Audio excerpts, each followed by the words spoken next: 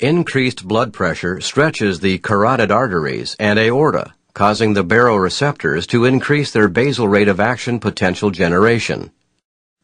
Action potentials are conducted by the glossopharyngeal and vagus nerves to the cardioregulatory and vasomotor centers in the medulla oblongata.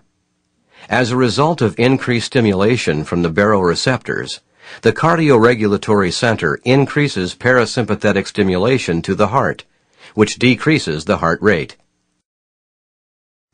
Also, as a result of the increased stimulation from the baroreceptors, the cardiovascular center decreases sympathetic stimulation to the heart, which decreases heart rate and stroke volume. The vasomotor center decreases sympathetic stimulation to blood vessels, causing vasodilation.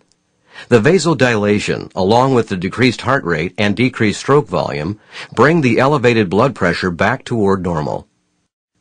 If the initial problem were a decrease in blood pressure, the activities and effects of the baroreceptors, cardiovascular center, and vasomotor center would be the opposite of what is illustrated.